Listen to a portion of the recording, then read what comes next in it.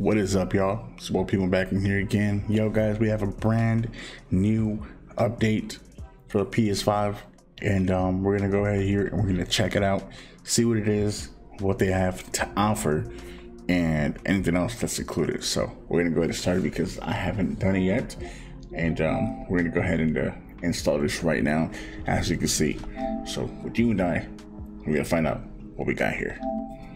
Let's go ahead and update the SPAD board. Let's view the details real quick. Okay, so we have uh, system software to improve system performance, and it is uh, 21.1 through 320. And we're gonna find out here what the what else we got here. Okay, so it can tell us um kind of updated to the latest version. okay, anywho, let's go ahead and begin this right now. It's probably gonna take a minute here, but it's gonna work eventually. So if you guys haven't yet, make sure you guys do drop a like, subscribe to the channel, and do turn the bells on. Notifications sometimes ain't really that great. But now we're here with the software system software update. Crazy, right? Hopefully this actually will work a little better. So let me go ahead and go through. So the update PS5 to the latest software version 21.1 and 3.20. So it tells us that improved system performance, they updated the DualSense wireless controller device software to improve stability. They fixed an issue where it's restricted functionality of some screens when the screen reader was enabled, which that that's been happening lately. Especially the dual DualSense wireless controller device as well has been having issues, especially for everybody else who has been going through it. Now, they fixed a lot of uh, issues with games that were hidden on PS4 were not really hitting on PS5, and hopefully they will fix that issue from there because you know sometimes it just wouldn't work, and when we try to hide stuff from the game from the system, it wouldn't work. But now it should be able to.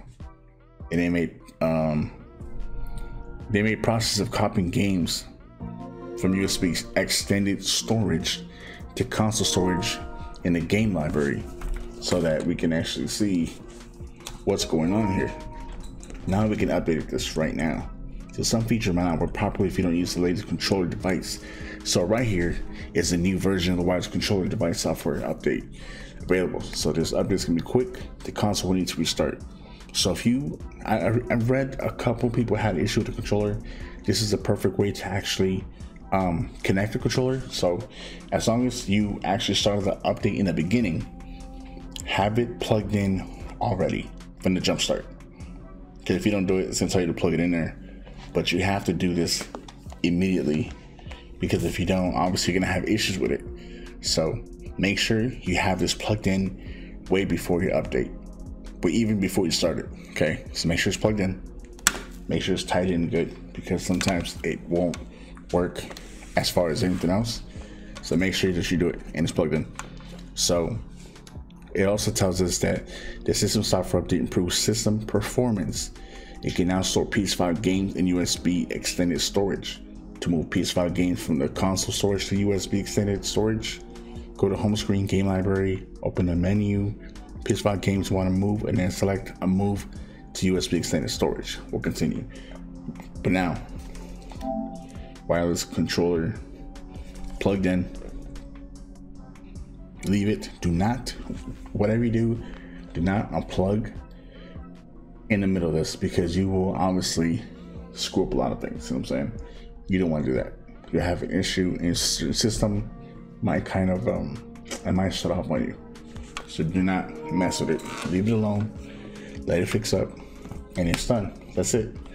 So what else it tells? So it also tells us to play PS5 games that are in USB extended storage. Go to the game library and copy the game to console storage from the options menu.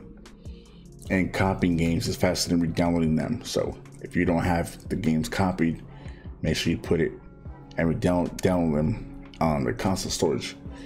And uh, you can also, oh, okay. So it says you can now enjoy share play with players on PS4. So you share play to invite your friends on PS4 to watch you play a game or hand over a controller. They also added a couple of features actually. So we've added zoom to accessibility features. Use zoom to magnify what's on your screen, go to settings, accessibility, display, zoom to enable this feature. So now what they did with this um, chat audio, they added disable disable game chat audio in the control center under sounds. If you turn off turn on the settings, your voice won't be heard and you won't hear other players' voices in the game chats. But the setting does not apply to party voice chat audio. Which I wish they actually like change a couple more things. But they have so many new things that they just actually put in this. Wow. The rest of it, I think I'm gonna go ahead and put it in the description so y'all can actually check it for yourself. And um it just talk about control centers. Um, oh, for your uh, controller's remaining battery level, even while it's charging, and it also gives you. Let's read. Let's check out the important ones. So they added an option to switch the video output to none HDR when using a game or app that doesn't support HDR. So you go to settings, screens, videos, video output, and HDR. And for supporting 120 H, um, obviously HD.